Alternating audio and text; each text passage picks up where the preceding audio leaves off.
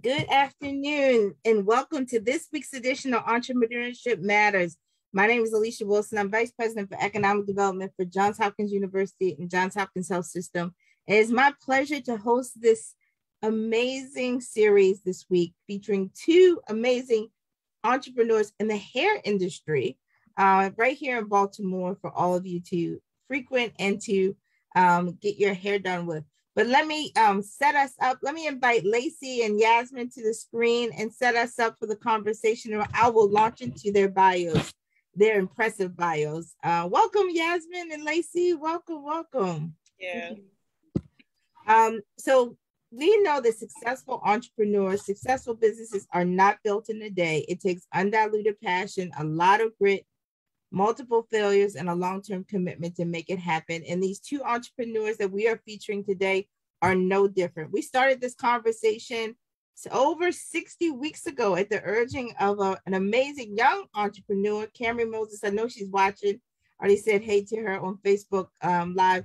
Um, really to uplift uh, our entrepreneurs in our community and really to tell their stories. And so it is an honor really to get to interview Lacy and Yasmine, and you're going to see why in just a minute. Let me give you their bios so you understand just what giants they are in the hair industry and spa uh, industry, and then we're going to get right to it. So let me first introduce you to Yasmine Young.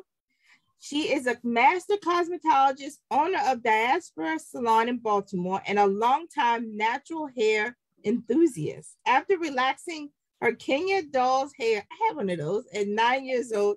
She realized then that she wanted a career in cosmetology. Featured in publications such as the New York Times, NBC News, Elle Magazine, and Yahoo Beauty, Beauty, she is dedicated to bringing the beauty and discipline of Black natural hair care to the mainstream. Armed with dedication, passion, and the motto, listen to this, learning never ends. She's excited about her next venture. Stay tuned. We're going to talk a little bit about that. Yasmine, you have to give us a sneak preview. Um, you can see Yasmine through her work at Diaspora Salon. Um, we'll give you all of her social media handles, but they're very easy. Diasporasalon.com as well as Diaspora Salon on uh, Twitter and Facebook. So welcome, Yasmine, again. So honored to have you on. Thank you for having. me. Yes. In the second um, amazing entrepreneur is Lacy Fields. Um, Lacy is the owner of the now Therapeutique Salon and Spa. I got that right. I, right. with over 18 years of experience, Lacy is the epitome of beauty and fashion. I, I think you can tell. Hair has always been Lacy's first love. She is self educated by reading countless past and present cultural beauty experiences, which led her to investing in traveling abroad to view and experience the beauty culture herself. Besides traveling the world, she has also been a beauty educator abroad as well. Being an educator, Lacy knows the importance of healthy and educated staff for an either healthy and satisfied clientele. I agree with that. Her number one goal while leading Therapeutique salon and spa is create luxury experiences for everyone. I, I, amen on that. With her experience, she is dedicated to bringing more multicultural experiences and to build the Rockville community. Welcome, Lacy, as well to today's conversation. We have so many people jumping in today, so I can see this is going to be a robust conversation. Let me let folks know. I'll say this at the outset. You can participate in this conversation with Yasmine, Lacy, and me. What you can do is you can put your questions in the chat if you're in Zoom you can put them on Facebook, which I'm already seeing them coming in on Facebook. You may also um, text them into us 22333, type JHUWL in the message, and I will get all those questions and pose them to Yasmine and Lacy. So let me start by asking what inspired you to become an entrepreneur? Like, where did this start? I thought you both, um, Yasmine, you had your nine year old Kenya doll, got that perm and got the relaxer, and Lacy, you say always had a love. So tell us, sorry, Yasmine, what was what brought you to becoming an entrepreneur? Okay, what brought me to becoming an entrepreneur? Um, so I would say, uh, first and foremost, I started doing hair um, right after college. Right, uh, I was in my last year of school. I went to UMBC Go Retrievers. Yeah, go Retrievers. Yes. so I was in my last semester of school and I said to myself, what what do I want to do? So my major was visual arts, right? Mm-hmm. Um, concentration graphic design. And I realized I love the discipline. You know, I've always been an artist since I was a young child, love the discipline, but I didn't necessarily want that as a career, right? Mm-hmm. So um, I remember I went to my cousin who was my mentor, and he said, if you could do something for free for the rest of your life, what would it be? And I said, hair. And he's like, then you need to go do hair. So I said, well, how would I go? And it's not, it's just not that simple. He's like, it's a process, but do your process. So I started at the bottom, worked my way up. Uh, I was working in uh, salons in Baltimore, and I just couldn't find um, what I wanted, what I what mm-hmm. I would want as a customer, and mm-hmm. then what my customers wanted. So searching here and there, and so I realized I need to create that myself. Mm. So that's what I did. So that's what um, what inspired me. It was that it wasn't necessarily that I wanted to own a salon. It was just I knew what my standard of quality was, and I couldn't find that. So it was just like, do I continue to work in a place that's not meeting my standards and my customer standards, mm-hmm. or do I step out on faith, skill, and tenacity mm-hmm. and do it myself? And that's what I chose to do. You, that's a, I mean, it's a very um, great story, and also one that I've, we've heard on this on yeah. this webinar many times. People saying, I was working in someone else's salon. I was trying to figure out where I was going to go. I was working in someone else's business, and I realized there was a void in the marketplace, and I was going to fill it. So beautiful. I know that is many people who are watching. It resonates with them as well. How about you, Lacy? What um, what inspired you to become an entrepreneur? Um, what really inspired me to become an entrepreneur was that I was going to be the first entrepreneur in my family mm. um, you know, taking that risk and jumping directly in to working for myself. You know, I've watched my family, I watched my mom be a hairstylist and work a part time job, you know, since a very young age. And mm-hmm. eventually she drifted out of doing hair. Mm-hmm. And watching her when she when I was younger and learning from her, you know, I always had that true passion of I want to do this, and you know, having her teach me and wanting to learn, and having her, you know, like okay, I uh, I taught you once, now you have to do it on your, on your own.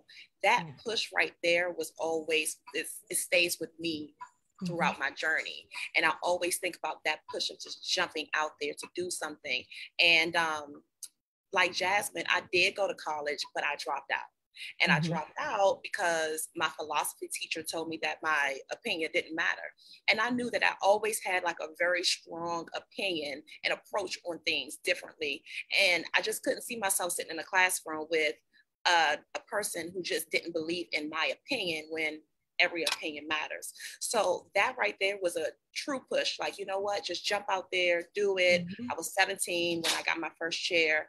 And um, got my license and um, I, I, just knew that it was there you know mm-hmm, I, knew I had mm-hmm. that feeling to always want to take on that lead of leadership and yeah. um, and i can say too just like jasmine said you know working in different salons with different salon settings i always had this niche of offering different services i always had this niche of wanting to provide a space where it was comfortable, where it was mm-hmm. luxury, where you know people will feel um, eager to come to all of the time and never want to leave. And it pushed me. And you know, we'll get into like the trials and, tri- and tribulations, but where I am today, it's almost like a um, it was another push just mm-hmm. to move forward in my entrepreneurship and trust the faith and trust God. And um, but overall, I would have to say if it wasn't for my philosophy teacher to tell me that my opinion was wrong, and if it wasn't for my mother to always push me for more and to challenge myself, I wouldn't be here. No, beautifully said. I mean, I think your your story resonates with a lot of folks in thinking that you know sometimes the person that says no, someone that someone you know they they would they want to take the fuel out of your tank, but really in in uh, in the reverse is putting fuel in your tank fueling you towards becoming an entrepreneur. So great, great um just points. And and what I want to shift to is so how did you start? So Yasmine, you talked about, you know, your mentor said do something you would do for free, but of course you need to get paid.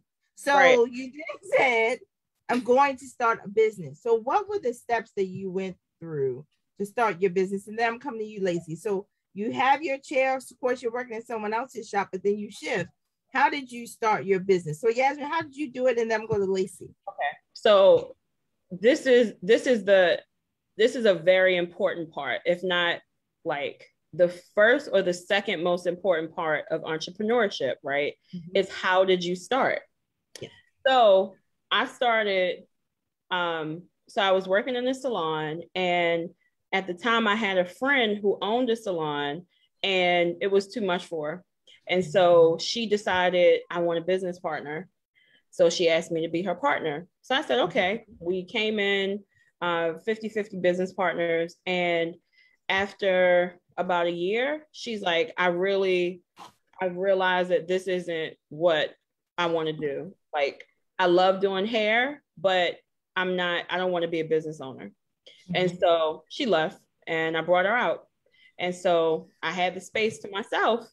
And that's how I got started. So I had some money saved up. And then I borrowed money from my best friend and my mama and Thank I got just, for mamas and best friends. For real. Um, Thank God for mamas and best friends. Seriously. So at that point, I got um, like I said, I'm a I'm a very creative person. So I outfitted my salon with plants, with my artwork. Um, and I just kind of filled the space in as best I could. Uh, mm-hmm. And I just every every bit of profit that I was making, I put it right back into the business, put it right back into the business. And um and I already had a a, a solid clientele. So um so yeah, that that was it. And then um, you know, I started taking classes because I wanted to grow the business. I, I didn't just want it to be me. I wanted to understand, um, you know, the whole employee dynamic and the financial dynamic and um, human resources and all those types of things. So that's how I initially got started. Excellent. I've took down notes on what you said and I've picked out seven things. Okay. Um, like many entrepreneurs, you start in someone else's business and you learn uh, from that experience. Then you had an amazing opportunity to go and become a business partner, 50 50. And then you shifted, you pivoted because then your business partner, you bought out your business partner and became a sole owner. You talked about your financing that you started with money you borrow, money that you save, your mother, your best friend. Really shout out to them uh, for for supporting you in your in your development and your growth. Then four, you used your space, so you used your resources to fill out the space that you had. Fifth, you you know you put your profit, so you reinvested the proceeds into your business. Six, you had silent clientele, so you built clientele along the way that allowed for you to have, you know, we talk about capital in terms of loans, yeah. but customers are capital yes, and you are. need capital. Uh, and then seventh, you took classes. So you went and got sort of the infrastructure build out, the the employee basis, your financial, all of those are great tips. I know folks are taking notes on what you what you just said. I just want to lift up. I heard seven points of um, how you got started that I think are very instructive for everybody watching. How about you, Lacy? How did you go from you have a chair and then you're going to become the first entrepreneur in your family? So what walk us through so the process you went through. So my process was I got my first chair at 17, right? Um, at I was in Forestville at that time, and I just felt complacent, like I wasn't broadening myself, right? Mm-hmm. So I decided to find a salon to work in part time because during that time I had extra days that I dedicated to school. Mm-hmm. And so now that I have those days free, what else can I do? So I took those days and I went to Rockville, where I am now, where my business is located, and um, started at Ulta. And I worked behind the chair at Ulta. They were a very salon, and I knew that I was going to get the education there. I knew that for a fact that they offered education. I knew that I was going to um, have experience in, you know, extra new new clientele you know, new hair that I have never touched, new hair that I have never seen, and I and I wanted that. You know, yeah. I wanted that challenge. You know, I'm I'm a colorist today, but I started at a very very low point where I just didn't understand color, but I love color, and um, I knew that I was going to get that skill set there. So working in Ulta, I got some skill set and like I only planned on being there for like a year. And um, in six months, with it before six months, my clientele grew rapidly. Before you know it, I mm-hmm. was booked consistently because listening and hearing from hearing from my clientele that are still with me today, right? I've been in Rockville for 14 years. And um, they're like, we heard that a girl from PG was doing hair in Rockville, so we had to come. You know, it was a lack of education um, in the community out here in Rockville, the Black stylists and uh, with the Black clientele as well. But then not only that, we have other clientele who have curly hair who didn't understand, who didn't understand it. At that point of time, I was the only person doing natural hair, naturally curly hair, and it wasn't afraid so that put me in a different perspective. That put me in a different uh, level of growing my clientele. And then um, two years after that, I had the pleasure of going to France for the first time for five days. And when I left France and while being in France, I said, This is where I'm supposed to be. I need to come back. So I came back from France and I just couldn't stop talking about Paris. I couldn't stop talking about just the overall culture in Europe, the art and everything that, you know, just inspired me. And I came back home and I saved up for two years and I moved. I moved. I told everyone as soon as I got home, I'm moving to France for a few months. I don't know exactly when, but I'm going to let you guys know. But I'm moving to France for a few months. And two years later, I moved to France, well, Europe for three months, and I toured um, London. I, I followed uh, Fashion Week. I knew when to go because everyone was going to be there. So I had you know, that push to actually drive myself in to go to these doors of these designers and say, I'm a stylist from America. Can I join your team today? You know, I just, can I be an assistant? Can I just hold the hairspray? Can I just put on a cape? Like, what can I do? Add a clip. And that's exactly what happened. You know, um, I went from London. Wow. I went to Milan, I did Paris, and then I vacationed from vacation. vacation from. Are you saying like all the favorite places in the world? so um, and it's crazy because my networking skills were always i love people. I love working with everyone. I love meeting. I could talk to a stranger. We could talk about your shoes. We could talk about the sky. We're going to have a conversation. And um, as soon as i got to london you know this is when instagram was really popping off and i made sure that i hit everyone up that matched my that matched me you know mm-hmm. and told them that i was coming and told them what i was coming to do you know to experience. And i connected with everyone there. My first three weeks there, I landed up on a radio station. I think my within my first month, I got a spread in a magazine. Um, and on top of that, you know, following Fashion Week.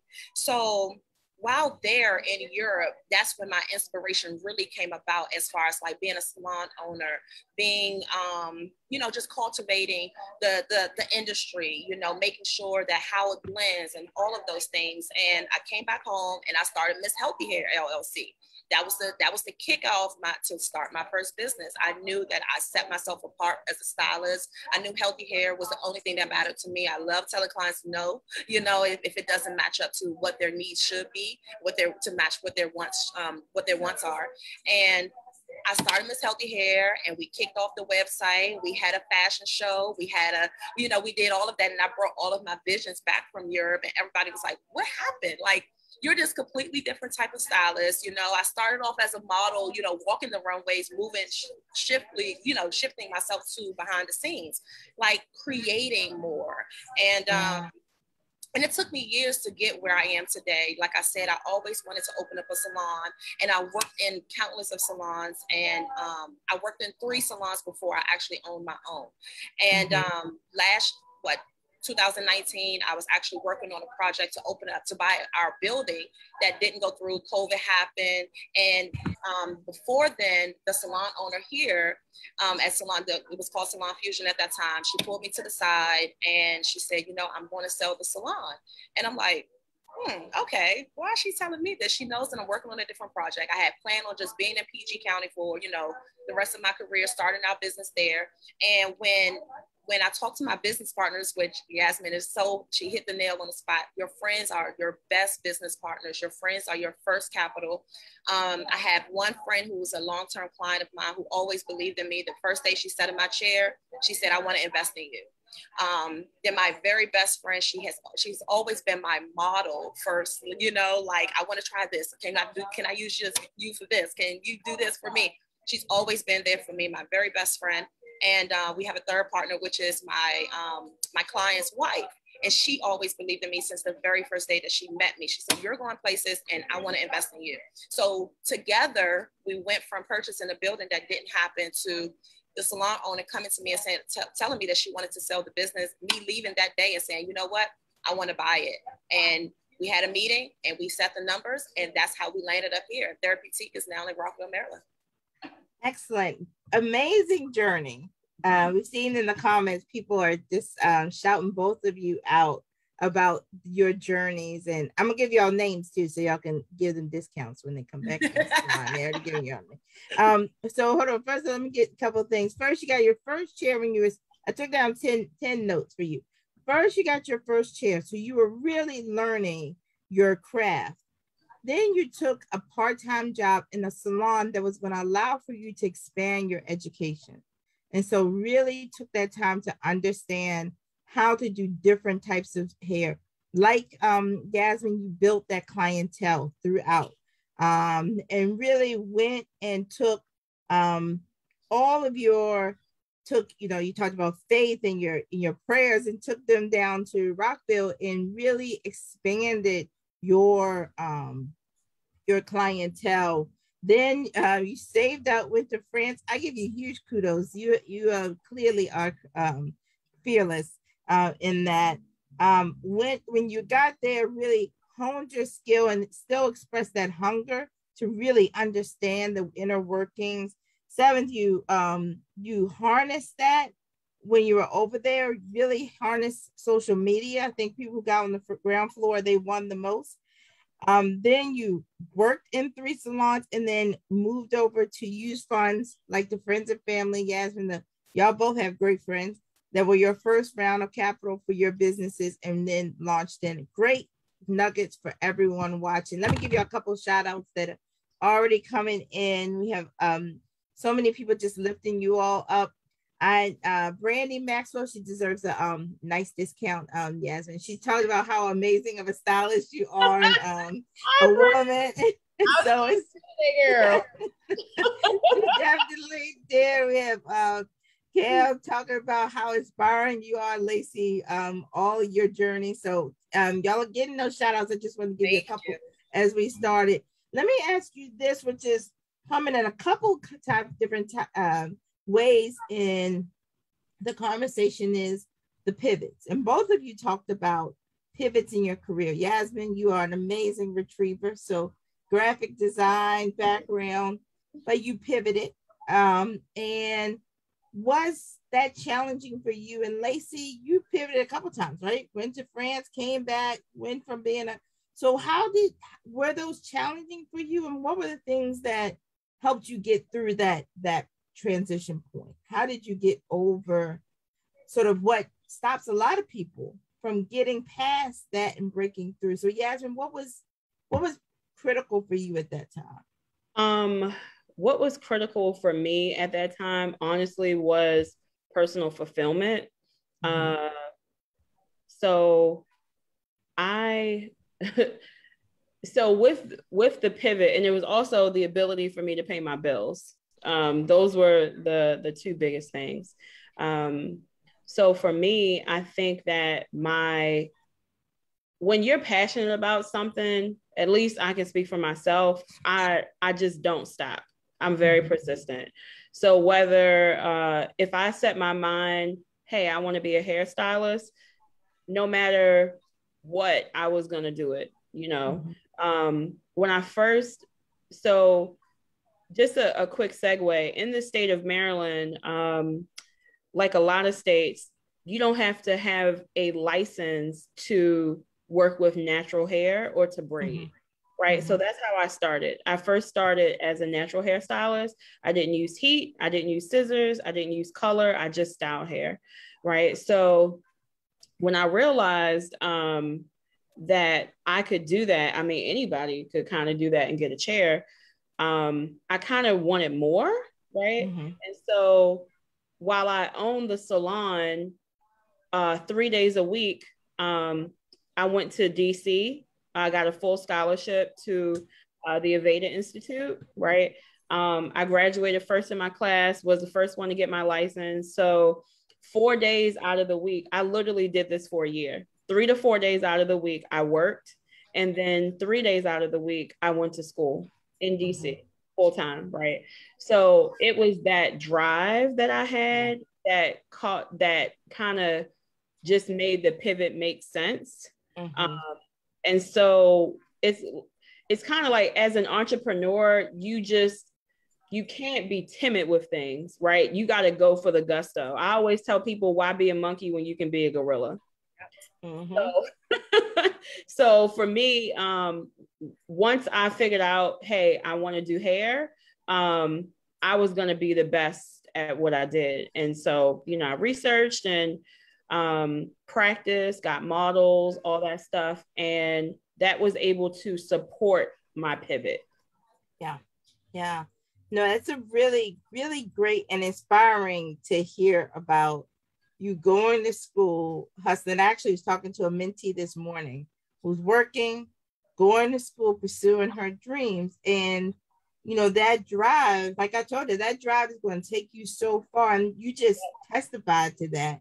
For somebody listening, I know we have a um a couple of pe- people on actually one that put a, a question to us about you know, is it ever too late to go to school? I'd like to finish my degree, but I'm not, you know, fear I might have missed the window, missed the boat.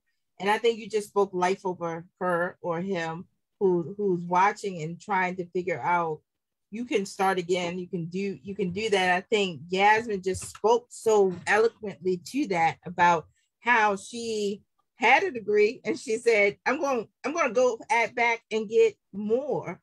Um, to allow for me to elevate my game. Just so inspiring what you just said, Yasmine. Um, Can I also say something else? Oh, to, yeah, please. To the person that uh, made mention of should they go back to school, I'll say this, right? Um, and I hope this is appropriate to say. Number one, school costs money. We don't have any rules. We don't have any rules. Okay, okay cool. so, um, number one, school costs money, right? Uh, for me, when when I got accepted into the Aveda Institute, I had to do a competition um, to get the uh, to get the scholarship to go to school because I spent so much on my undergrad degree. I was just like, I don't want any more student loans. They told me what the assignment was, um, and I was determined, like, okay, I'm gonna win this, and I won, mm-hmm. right? So for me, even if I had to pay for it, it made sense because it was directly tied into what I wanted to do. It was an investment for me to further my career, right? Because as a natural hairstylist, I couldn't do the things my customers wanted. So my customers needed to get their hair trimmed and I had to send them elsewhere, right? My customers needed to have their hair colored, I had to send them elsewhere. So for me, going to cosmetology school, even if I pay for it, right, it was an investment. So I would say if no matter what your age is, if it is an investment into what you want to do, um, and you can clear that investment and that investment makes sense, absolutely. Yeah, absolutely. I think that's just so extremely helpful point that you just made about the investment. It's an investment in return. In right. Return, like, yeah. I love basket weaving, but like I'm not about to go get a master's in basket weaving because I love it. It got to no, make no, no, no, no, no. That's right. That's right. That's right. That's right. No, that's right. That's right. Um, Lacy, how about you? How what allowed for you? What were what was going on? What was critical for you to allow for you to pivot? Um, and you talked about going to France and then coming back, starting your salon with three people like your your customer's wife, and I mean, you just you you done that. So, what was allowing for you to do that? Um, what was critical for you to have at that time? Um, I think definitely because as an entrepreneur, you you have to balance your finances, you know, mm-hmm. for your personal and your business. And I was always the one to make sure that the business was taken care of, right? I was always the one to make sure that my business account looked good. So I, because I know that when it's time to need a loan, they need to know that I make the money. I know I need to pay my taxes. I know all of those things. What I didn't um, know that was coming my way was taxes, you know, and I mm-hmm. learned at a very young age, and I'm, I'm, I'm extremely happy that I've learned this, but when I was working as an assistant, I was getting claimed on taxes and didn't know. So here it is. I started my business and, you know, all of these things are coming out. So now I owe taxes. Oh my God, IRS. And everybody's afraid of IRS. So at that point, I knew for a fact that I needed to make sure that financially I was always going to be set. Right. Mm-hmm. Financially, I was always going to be, you know, I was going to look at finances differently. Um, I was going to learn about finances and I was going to learn about IRS as well. but what um, what really, really gave me that pivot was to always accept change.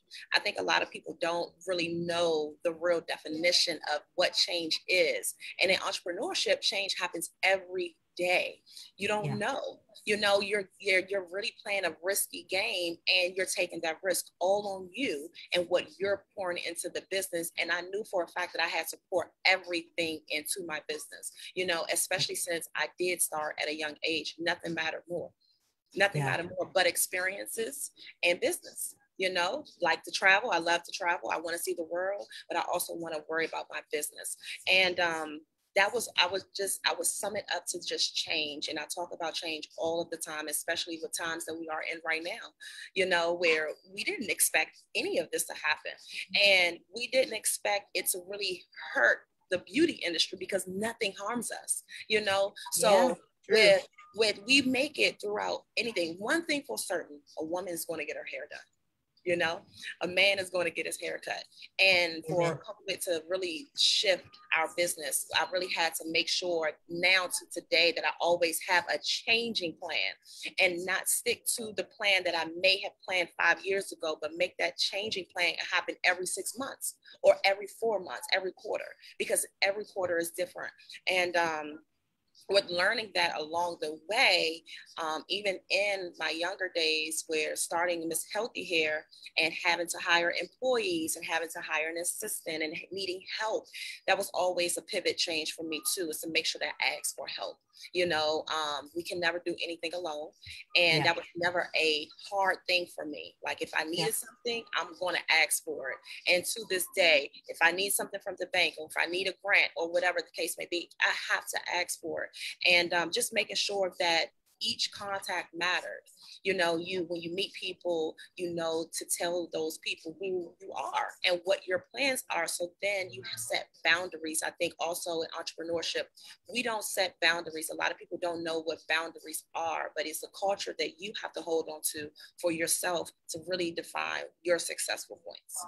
Yeah, no, absolutely. And and you you made a couple of really great points, which I wanna I wanna um not let go, which were really about how you thought about COVID and the pandemic and the adjustments. And um, Yasmine, I'm going to start with you and, and, and go to Lacy about how did the pandemic impact you and how did you, what adjustments did you have to make? And if you could tie that into like a real discussion about your clientele, because we have a number, I see a number of entrepreneurs on here who were thinking about that clientele during that period of time, still now. So how did you retain and grow and continue during during COVID? Yasmine? Sure. So for us, uh, we closed, we were closed for like three full months, right? So we uh we had a ton of appointments on our book. So we just um, at the at first we kept rescheduling people because we thought, oh, we're gonna be closed for two weeks. So we're like, we'll reschedule. people were like, I want my appointment. So because we have clients, we have at the time we had clients who came in like once a week. They didn't have shampoo at home, you know, completely dependent on us. They're like, I want that I wanted that appointment in two weeks. So we're like, sure. Then it was like, okay, so two more weeks. And eventually, you know, we just had to um to completely close our book. But uh luckily with um with the amount of knowledge that I had um, outside of being a hairdresser, right? Mm-hmm. Just that that business acumen that I've picked up over the years and the just the information that I had um we we closed and we were fine. Mm-hmm. Right? So I was like, you know, we we have reserves. I mean, we're we're we're good. Uh, so we were able to apply for um, the loans that were available, the grants that were available from the state, and we were we were completely fine. We were closed for three months. Um, when we reopened, we literally had um, we had to do the spreadsheet, and we literally had it was like 430 appointment requests. It was ridiculous but because we also during that time um that's when i was in the new york times. I was uh i did the bbc reuters uh, washington post nbc news um and Say that number again. How many 432 wow Whew. appointment requests yeah wow so um so you know i'm couple couple of the overwhelmed um, thinking about it. But you know, y'all are thinking about it now based off of what I said. But imagine having an Excel spreadsheet with 432 names. I know. My and, heart just my heart just went pitter patter. No, right. that's the, yeah. Where where am I putting where am I putting 60 people? You know, yeah. it was it was bananas. We were like seven days a week, 12, 14 hours a day. And it was a lot of that wasn't just behind the chair, it was administrative stuff, right? Sure. So um so and then uh, a week before we opened, I was like, I want to repaint the walls. So like then I was like, I want to um like renovate. So we Oh, oh, I see what you do. You like you're like a challenge. I, I know. I I, I know. It was crazy. But so anyway, we um so I think us, just like so many, so many businesses had to pivot. And I'm just grateful that I had my ducks in a row. I had my stuff in order so that, uh, for example, when um, uh, Governor Hogan is like, you know, we're opening this for small businesses, we're opening that, boop, I can go right to QuickBooks, yeah. pull all my financial statements, yeah. right? There's yeah. so many, especially Black owned businesses that don't even like they don't even know what a profit and loss statement is you know so i would definitely say to you guys that are listening and you're interested in entrepreneurship um you finances are key finances are key. You gotta you gotta know your numbers. You gotta have that kind of stuff in order. Um so for us we we were absolutely fine. Um in fact i was like i want another month off because i had painted all the walls in my house. I was, we were, I was like, look, I'm watching Netflix, I'm chilling.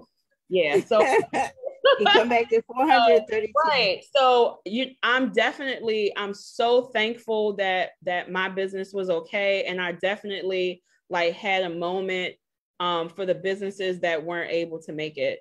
Um yeah. yeah. yeah. I think you made some really great points. One of them being and we've heard entrepreneurs say this over and over again that having their finances in order before COVID hit mm-hmm. was so critically important because if your finances weren't in order, you weren't paying taxes, you weren't doing all those things, PPP, all those grants, all those loans were barred to you. So I agree. So wholeheartedly, just great gem you just dropped on folks. How about you, Lacy? How did you pivot or or deal with um, COVID. And I, I, know, I mean, your clientele is is huge yes. and your following is significant. So how did you how did you fare? Um, well, so COVID hit us in March. I was not the salon owner yet. We didn't. We oh, okay, that's right. You said that. Yeah. Of COVID.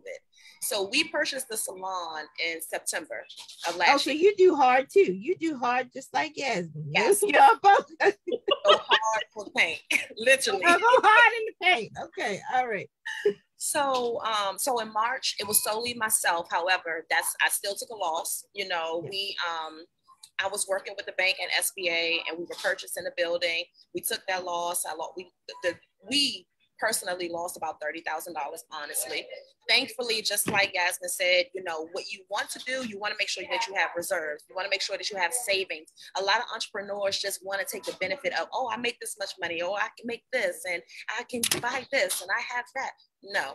What does your business do? Can your business survive? And can you also survive without your business? So that savings, that personal savings definitely helped me. Um, although I went straight through it, thank God for my accountant because I have one. Thank God for my financial advisor because I have one. And I think that we all need to learn how to have these relationships in place. So, because they can help us. You know, when you have an accountant and you have a financial advisor, they're giving you advice on how to work your money and how to live and what yeah. if something was to happen. You know, like for an example, being a stylist and having insurance on my legs and my hands. If I broke a hand tomorrow, guess what? I still can get paid for the rest Such of. Such a key. So important. Beautiful gem you just yeah, dropped. Yeah. And um, so I did have personal savings and I did have business savings. Even though we took a loss, we were still able to move forward with our business. And I did take a, um, I did go, I, I, was able as a sole entrepreneur, able to tap into the PPPs and the grants and everything because my numbers were in place. I had, I never played. I look, I learned at a young age to not play with IRS. So I had everything place in place. I that I needed to pay quarterly or I needed to pay yearly. I knew that these things had to be in place at all times So I was able to survive at home and our business was still able to strive. Um, I did do a little hair during COVID. I'm not gonna lie because my clients are just that needy and I love them. so I my was calls, you know, yeah. um, and I was connecting with them weekly. So I would have weekly Zoom calls with my clients, connecting with them. I would um, put packages together for them. I will uh, coach them on how to shampoo their hair, how to blow dry, what to do. And then the benefit of being um, to making units and making wigs and owning a hair company. So I had hair on, you know, all the time. They didn't have to go find it. I didn't have to find it for them. We I created units for pretty much 75% of my clientele because they were working, they're working class women and yeah. they needed to look a certain way on the cameras and they couldn't, you know. So what we would do is we would all meet up in one location. They would drop their units off to me. I would prepare them and have them back to them before Monday for the next two weeks. And that's what we did. And that's how I survived that is so beautiful. And thank God for both of y'all. Cause I'm telling you, when COVID hit, I don't know, my head, I mean, I don't have my head done. My head, everybody knows it's not good. It's it's horrible. Everybody, it's no no peace in the house if my hair is not done. So um uh and we have a couple of people said um Yasmine, they were wearing headscarves. They said they they they suffered through, but they they got through. A couple of people said that you uh it was they survived wearing head wraps. That's what they said. And then Lacy, Lacy, they giving you shout outs to um that you you hooking them hooking them up during the um during um during while they were doing that. We have a couple of young people on and just want to say I'm so glad to see so many college students on and high school students and um, they've been asking a number of different questions. I'm going to try to weave them into one question, y'all, which I hope um, Yasmine and Lacy can do. We're, we're going to go on a tour. We're going to see some of their products as well. I want to make sure we leave time for that. But they want to um, talk. One, are there any tips that you would give to them as young entrepreneurs? They're college students, high school students thinking about that. And then uh, another question weaved into that was, how can I learn more about taxes and these things that you all are talking about as an 18 year old? Um, you know, somebody that wants to, where where did where did you go? Where do you where what do you recommend after they leave this webinar? Where should they pick up their education uh, about being a business owner? So Yasmine, I'll start with you, and then Lacy. Tips for the the young people on watching. So, um, so I would I can uh, speak from my experience. So, as a young person um, that is interested in entrepreneurship, for me, the way I learned was YouTube, right? I'm a millennial, so YouTube is um, online. It's like an encyclopedia. I know. you know so, like world book. But I was I was intentional about who I would listen to, right? So mm-hmm. Um, I would find people that were CPAs because even though they weren't specifically giving me advice, they have a license. Yeah. And um, you know, so the information that I saw uh, from YouTube, it would when I would listen to different people, I had like three specific people that I would listen to, and the information was the same. They just taught it in different ways. That's how I learned, um, especially about the financial part.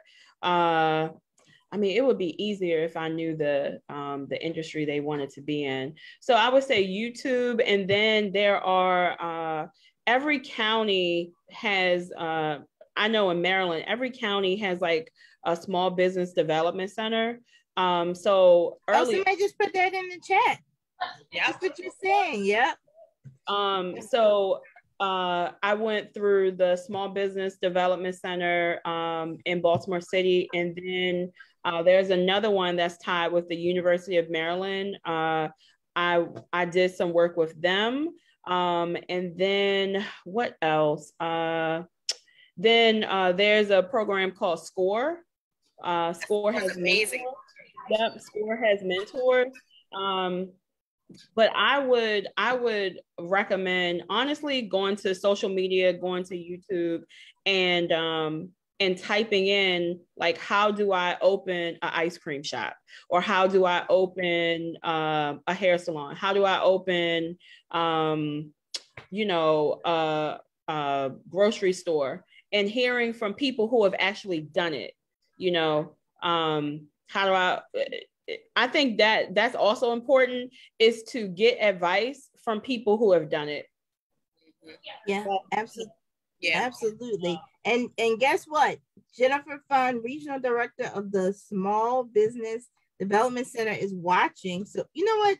You know what, um, Jen, we, we're gonna have to have a whole workshop on this. We've had young people ask this question a couple times.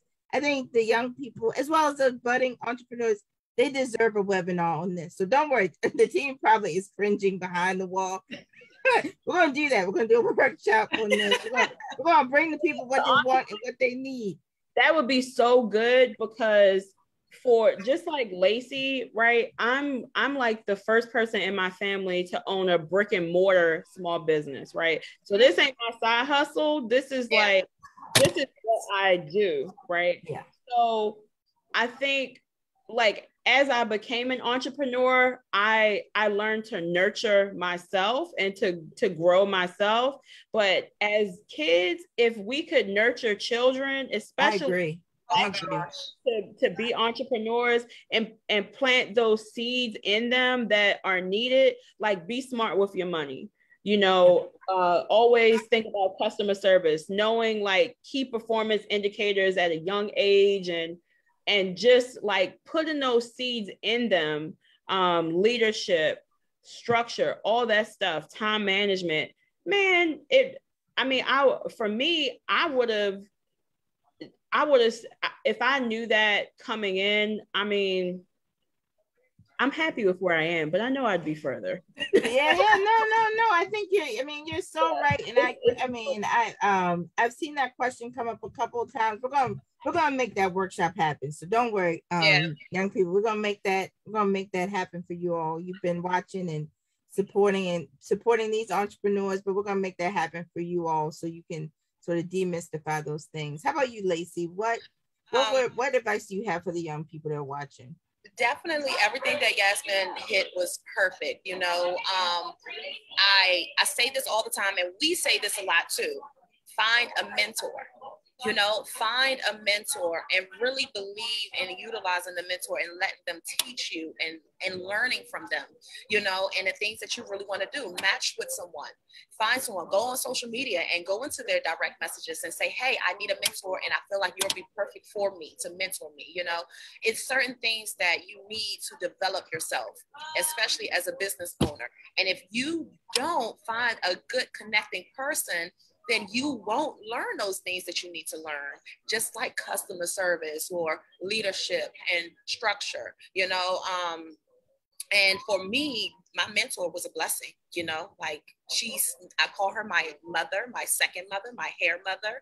And she has stuck um, beside me since the very beginning and she does not leave my side, you know, and I know for a fact that I can always go to her. And just like um, uh, Yasmine said that you could go on to Maryland, you could find these uh, different uh, these different articles. Reading is fundamental. Reading never gets old. It's always in the book. And they always say, we hear this a lot too, you won't know unless you read it. If you don't read it, you will never learn, you know? And uh, for me, even, even for the taxes, the best way to learn about taxes is IRS. They're feeding you the direct information. Go on IRS.gov and read every single article that they have. They're going to tell you what to do. They're going to tell you how to do it and why you need to do it. And that's the best way to learn from the person who's going to charge you for your taxes. that's right. That's right. Okay, couple things. Want, we got a lot to accomplish in these last 10 minutes. I have gotten too much in. I mean, this has been a one. This has been one of the best conversations we have had on here. And I just thank you, Yasmine and Lacy, for making that happen. it's because of you all. I want to get your products in.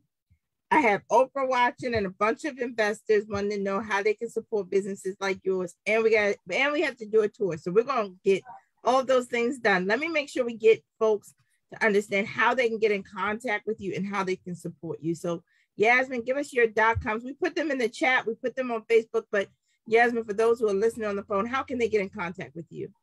So um, we we're on all social media under Diaspora Salon. Uh, and then if you want to get in contact with me directly, you can email me. Um, my email address. Uh, so my name is Yasmine Young, two Y's. So it's YY at diasporasalon.com. Excellent. Excellent. Lacy, how can folks get in contact with you?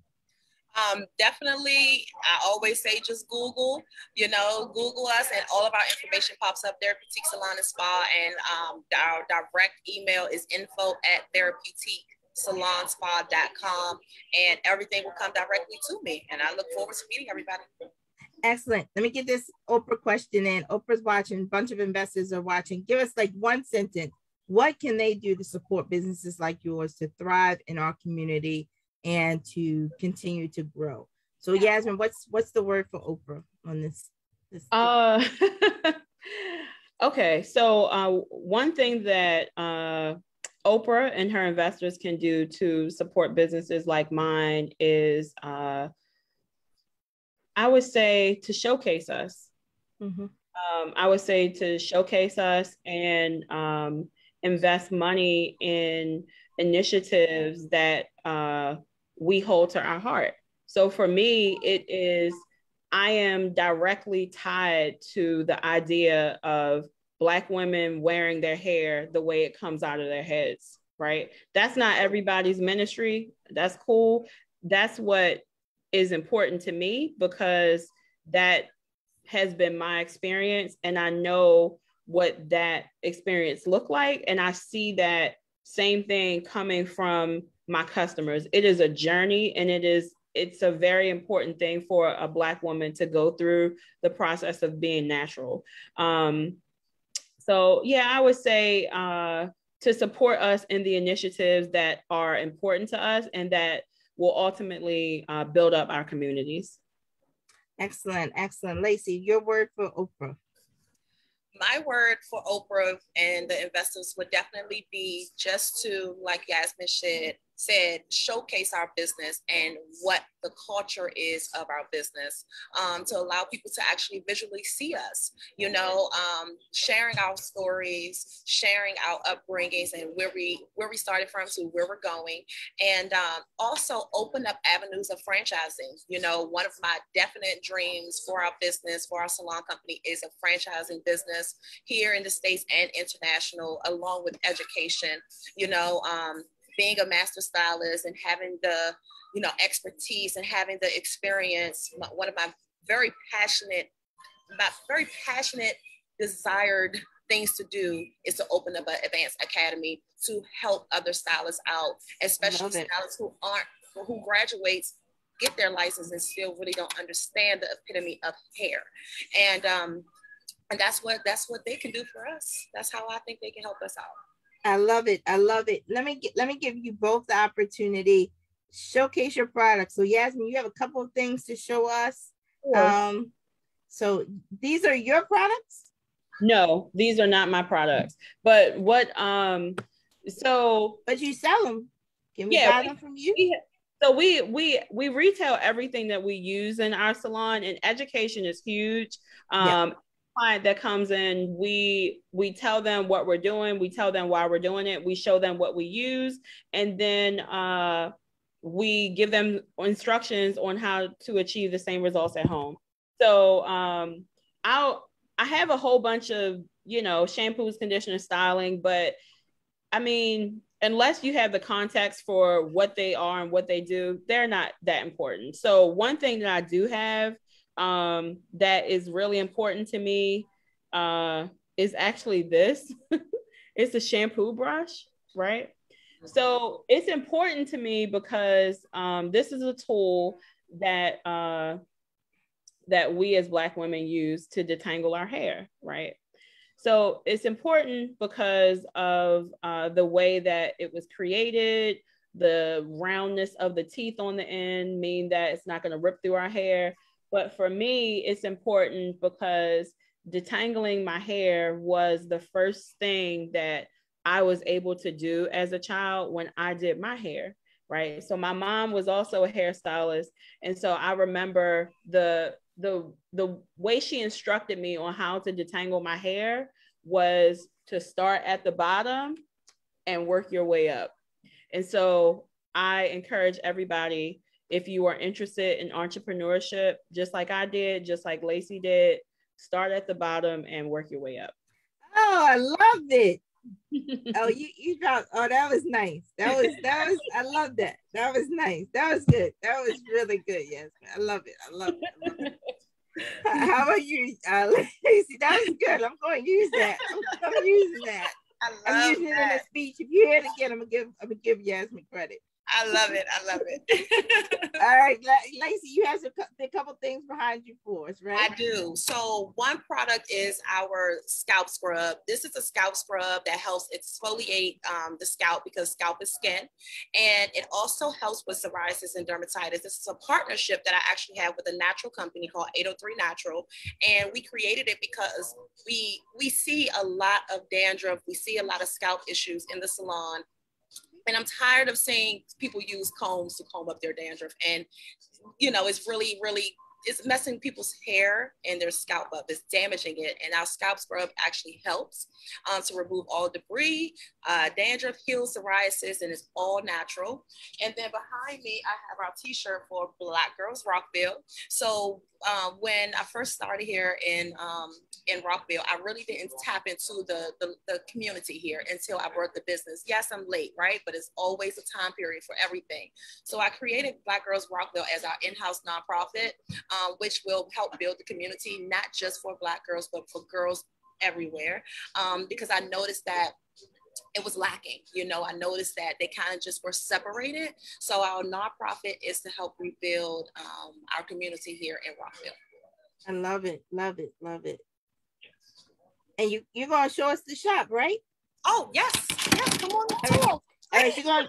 Don't worry, don't get dizzy, y'all. She's gonna show us, take us on tour. So we're gonna start here. So this is our um, greeting area, the opening of the salon.